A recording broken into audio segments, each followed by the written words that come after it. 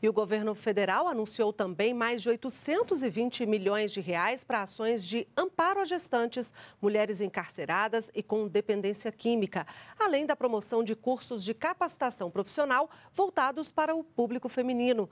Em entrevista ao programa de rádio A Voz do Brasil, a ministra Damares Alves falou sobre essas ações.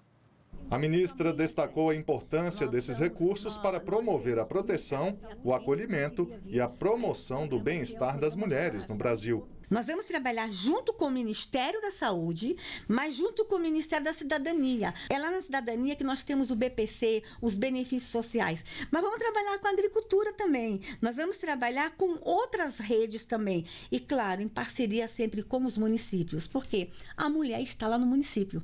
Damaris Alves também falou sobre o programa de saúde menstrual, que garante a distribuição de absorventes para adolescentes e mulheres em situação de vulnerabilidade social.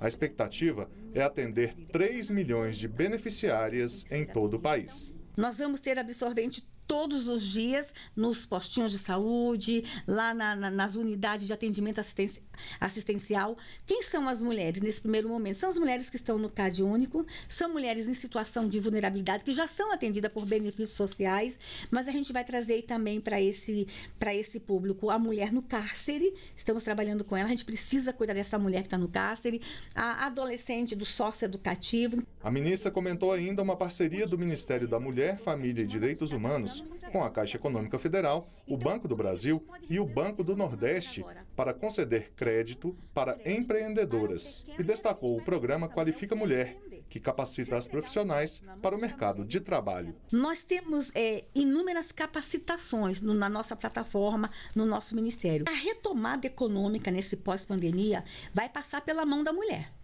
E a mulher brasileira, gente, ela é criativa. A mulher brasileira, ela é corajosa. A mulher brasileira, ela gosta de trabalhar.